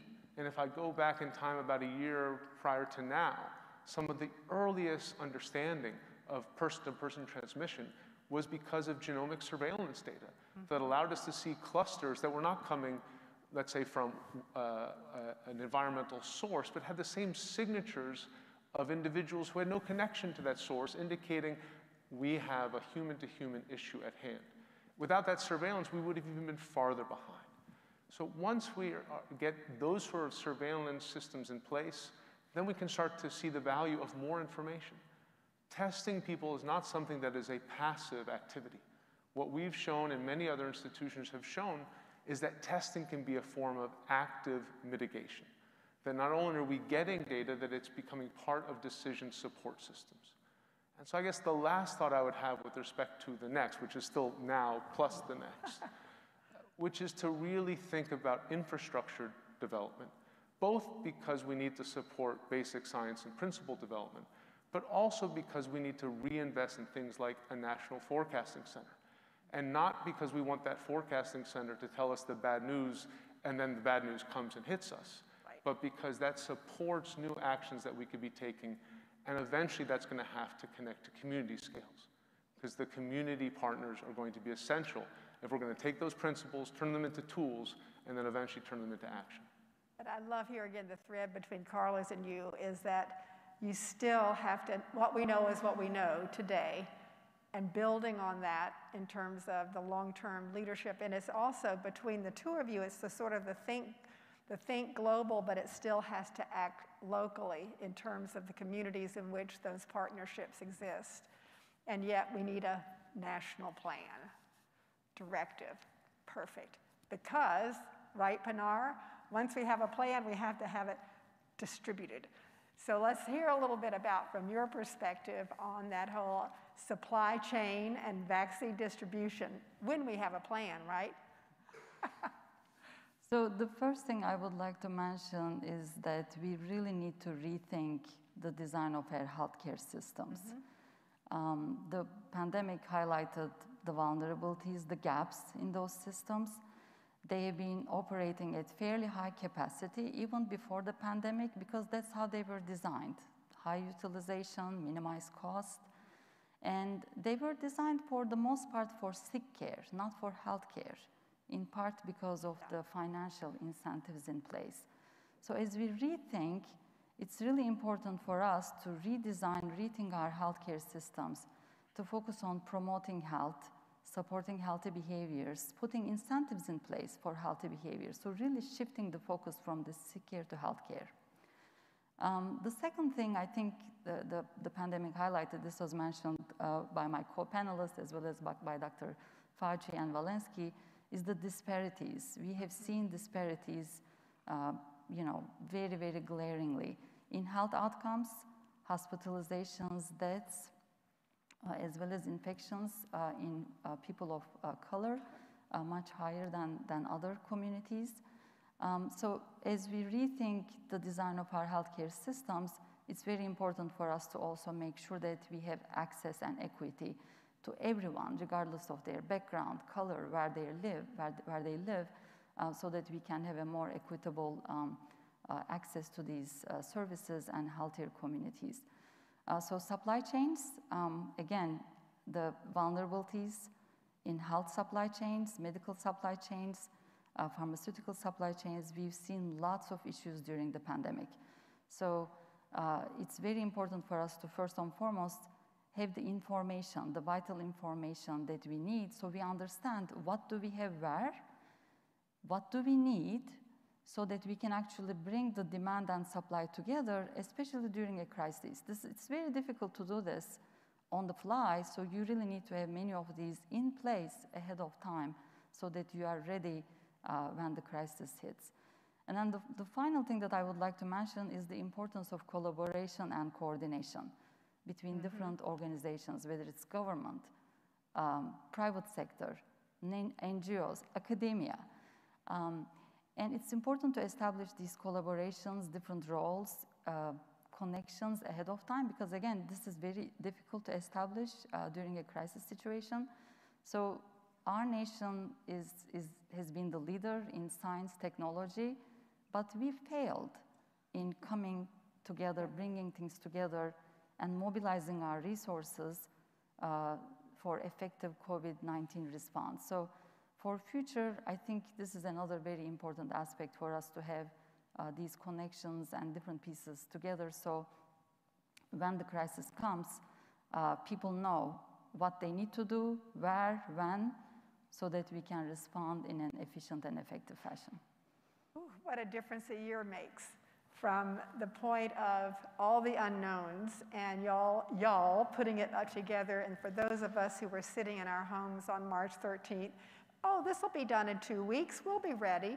And what we've seen over time, and we talk about literally what a difference a year makes, and of course Dr. Fauci mentioned that, is that today there's much more intention, there's focused, crossing the silos, collaboratives between the public and the not-for-profit, the NGOs, as well as the organizations like CDC and the Carter Center, is to bringing them together to focus on how we move forward instead of all scrambling. So I love that. Thank you, Pinar. And I think that's where so much of the, the difference in the year, back to leadership, focus, intention, resource allocation, and new ways of communicating that will be critical.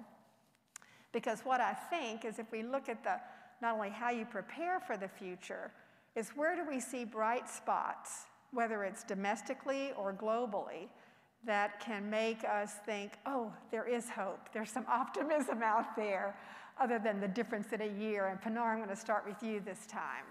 Where do you see hope?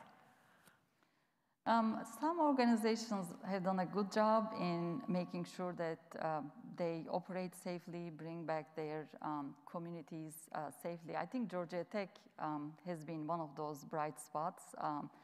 Uh, like Dr. Cabrera, President Cabrera mentioned earlier, we don't have a public health school, we don't have a medical school, but we were able to implement um, uh, testing, tracing, isolation, um, and now vaccination. All of this is happening on campus.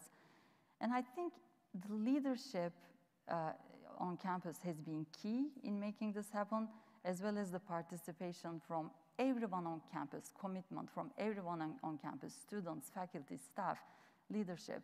Um, and uh, the, the, I think uh, the, the way the leadership um, communicated openly to the community, broader community, as well as received input from various constitu constituents within our community, I think that has been key.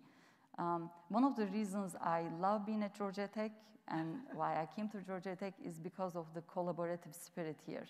And I think this collaborative spirit shined probably like never before uh, with so many of us coming together um, during this time of crisis. Um, and I hope this uh, gives hope and um, sets a nice example for others as well. That is so cool. I love that story. And President Cabrera, you mentioned it where you said, well, we've never done it, but we'll do it. We'll do it. Let's do it. We'll just get it done, bring everybody to the table and get it done. So I think that spirit, the Georgia Tech way, needs to be uh, expanded across many campuses as well as across the country. The collaborative, yes, out of our comfort zone, like Dr. Lindsay said, out of our comfort zone, we'll manage. Move on. So tell us when you were talking about Joshua, your partner, I mean, yeah, your partner in crime here, how, where do you see hope? I don't want to steal Carlos's thunder by saying vaccines. Can I say vaccines? Is he hope right here? Hope is sitting right I, next I, to us. Obviously, I am deeply optimistic about the change of direction here because of the widespread availability of highly effective vaccines. I think that should bring mm -hmm. all of us enormous hope and optimism. Now, with respect to lessons learned, now mm. the, the negative there would be we give up on the other items as those become available. So, what has been a bright spot to me in this past six to nine months is precisely the way in which community members have come together, often with very disparate expertise. So, I want to be clear I'm sitting up here with colleagues today. There is a very large team, my colleague Greg Gibson in particular, uh, on the laboratory side, logistics, folks who have figured out much more effectively than having me as your technician trying to figure out a way to make a saliva-based sampling uh, testing system fast and efficient and easy. A whole team of folks from communications to logistics to scientists who've come together in common purpose, in a sense of service, of trying to serve the community, inform the community, sometimes tell them when things are not going so well, mm -hmm. that we have to, even when things are going well, we have to be aware that that may not be the case a few weeks from now and that we have to remain vigilant. And I think those kind of interactions and collaborations can be the basis for improvements in the future, whether it's because we're going to be better prepared or even take that same collaborative spirit and develop a new technology in advance or a system in advance or even be more ready to communicate at scale. Like this question of communicating risk in a different way so that people can take their own health into their own hands and try to make more informed choices. But going back to my first point, all of this now with respect to getting us through this non-pharmaceutical route, uh -huh. obviously all of the investment that was done very early, whether it's Moderna or Pfizer or J&J, are putting us in a much better place right now than we were even just a few months ago. This is both inspiring and informing, informative. Thank you, Joshua, so much. I, I'm thinking about um, the story Dr. Fauci said about every single person in the scientific community has a part to play they may think their part is very small, but in the big scheme, if it, we didn't have it, we wouldn't get where we are. So I love how you're talking about the team approach, the trusted approach, and how you communicate it. Okay, Dr. Del Rio. Now he's Dr. Del Rio. So, so what, what, what is the, uh, I mean, what are the bright spots? I mean, to me, the, the one bright spot and one we need to emphasize is, is the, the value and the triumph of, of science and of research. Uh, it is the investment in research that has gotten us vaccines and has gotten us to where we are. And I think we, you know, the U.S. spends a fair amount of, of percentage of GDP in research through the NIH and through National Science Foundation, et cetera. And frequently you hear politicians say, well, why? What do we get out of this? Well, we get the kind of things like, like the vaccine we have right now. And I think telling the story about how supporting basic research actually has tremendous implications to where we are. So I think that a bright spot has been that the, the investment of, of years in, in, research has paid off, and I think has gotten us to a much better place. The, the second thing is I think that a, a bright spot has been the, the response of, of, of thousands of humans around the world. Mm -hmm. And I, you know, I talk about many people, but I'm going to refer right now to healthcare workers, uh, you know, who have have been there in, in a very difficult circumstance and now for a year taking care of, of sick people and frankly being you know tired and exhausted and it's, it's been really really hard when you have you know people coming in that that you have not much you can do once they get really sick, and, and you know, five, six, seven percent of them are still dying in the hospital. And uh, it, it makes me think about the, uh, you know, uh, uh Dr. Uh, uh, Jonathan Mann, who was the director of the national of the of the Glo global program on AIDS many years ago, at an international AIDS conference, he said back in 1998, he said you know, when the history of AIDS is written, our biggest contribution may be that at the time of plague, we did not flee, we did not hide, we did not separate. And I think the fact mm -hmm. that mm-hmm. people could have walked away and say, look, I don't need this job. I don't need to put myself at risk. I go somewhere else because there were, you know, there have been thousands of healthcare workers around the world who have gotten infected and people are still taking care of individuals. And I think, you know, the human condition, compassion, caring, has really been prominent throughout this pandemic. And I think, again, we need to think about how do we capitalize on that? How do we get away from our individualistic selves and really move into a more, you know, sort of community approach to, because what Pinar was saying about health disparities, you know, health disparities are, are in great part, as Dr. Fauci said, the result of social inequalities Years. and, and, and, and, and things that are happening in our society that we need to start caring about housing, education, food access, many things that have nothing to do with, with healthcare, but have everything to do with health. Mm -hmm. So thinking about how do we address some of those things, I think could potentially be some of the positive bright sides of this pandemic is that we may eventually, I think, come out of this really taking equity and, and, and justice as a much more serious thing that we've done up to now. And amen to that as Dr. Fauci was even talking about the bright light, the shining the light on the entire community, which is a part of a health story. Whether you have the house in which to safely live, the food to remain your health, to be able to say, um, I begin to get educated. So the whole community is so much a part of positive health as well as access to good health care. And I love how you said, obviously, as you heard from President Cabrera, I came from IBM and we were one of the largest research investors in the world. And to be able to know that that kind of research and patents and creative and innovative brains are working because that's what I loved about the work that was happening in the research arena, where Kizzy Corbett was right there having worked on this with many of you over decades. Well, not she's young, but I mean, the work that had been going on for decades and it comes to fruition in times of need. So that's a part of that bright spot. But Carlos, you just mentioned a lot about why we're here social courage. And for many of us, we've seen that in the face of the health workers, the health, the people who were taking care of the children of the health workers, the parents who've been at home during this time doing homeschooling, which is not an easy job.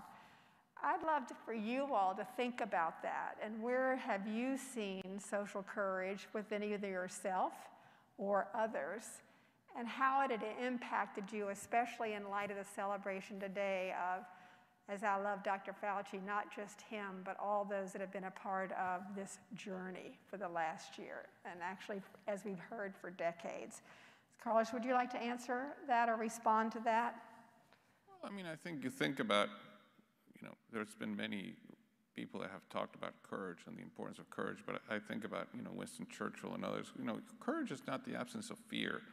Courage is really the ability to do the right thing in, in un, un difficult circumstances, right? And I think throughout this, this pandemic, you can put, you know, countless examples of people who have done exactly that uh, who have not remained quiet, who have uh, worked uh, very hard, who have stepped out of the, of, of the comfort zone mm-hmm. in order to do the right thing and work together uh, across uh, institutions, across nations, across uh, communities, doing, you know, doing what needs to be done to address the pandemic. And, and that, I think, to me, is, is, is, is what the courage that we need. And we need uh, more of that in our society because I worry that, that again, people are beginning to say, well, you know, this is over. When are we going to get back to, to the way things were? When are we going to get back to normal? And I tell people we don't want to go back to the normal that we lived at. We want to go forward in a much better normal. And that's going to take courage to do that. It's going to be, take courage to be disruptive and to be different. And I think we, you know, we're going to have to disrupt higher education. We're here in this, you know, in this uh, campus of Georgia Tech. I mean, how are we going to change our education going forward? What have we learned out of this pandemic? What can we do to make access to education more affordable and better to everybody as opposed to a, a few individuals? So I think using the pandemic as a way to, to really leap, leap forward and get us to a better place is going to take enormous courage, and I think that all of us need to think about how do we do that. The whole new word is reimagining and a go forward strategy. We don't have to just go back, it's the go forward. Thank you, thank you, thank you. Joshua, what have you been thinking about courage, social courage?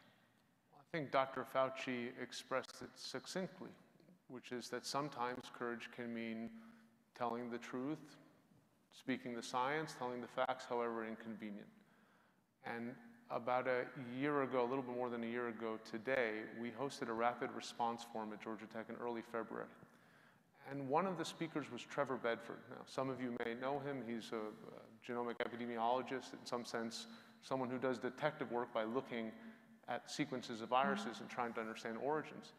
And he described seeing this pattern that seemed to indicate human to human transmission, and then spending all the time he could telling as many as people as possible. And then making a strategic decision to go spend much more of his time. He's a basic scientist using a platform that really he had developed and was ready for this moment called NextStrain to spend the time communicating and sharing exactly how severe this could be and how much action was needed. And so I think that's an example. It's, it's a different kind of brave, you might say, but in the, in the realm of science, this absolutely was that kind of decision, strategic decision to pursue evidence and truth and share it, even if it's inconvenient.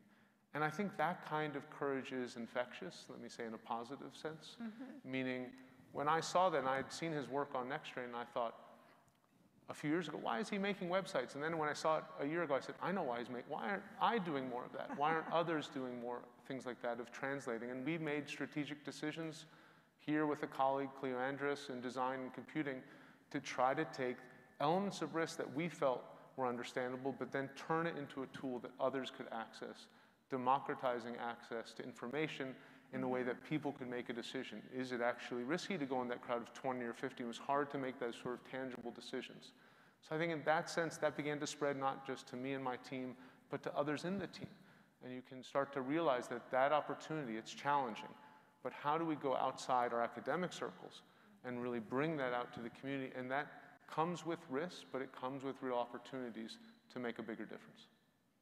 Brilliant, because I think that's what so often people are hesitant to get out of their comfort zone, take the risk, ask the question, develop the idea with the intent or the fear. Fear often reigns in terms of giving us not as much um, confidence to take the risk. So I love hearing that, is that taking the risk and then having the application, a ripple effect. Brilliant. Thanks, Joshua. Pinar, what are you thinking about social courage and what effect it has on you? I mean, just, just to add um, a different perspective to, uh, to my colleagues, um, I, I, think about every single person in this country, in the world, um, during the pandemic, all the difficulties they are going mm -hmm. through. It takes courage to wake up every day, to put one foot in front of the other, and to keep going. Um, in the US, we lost about half a million people to COVID. That's a huge number. That's about the population of the city of Atlanta. Imagine an entire city wiped out.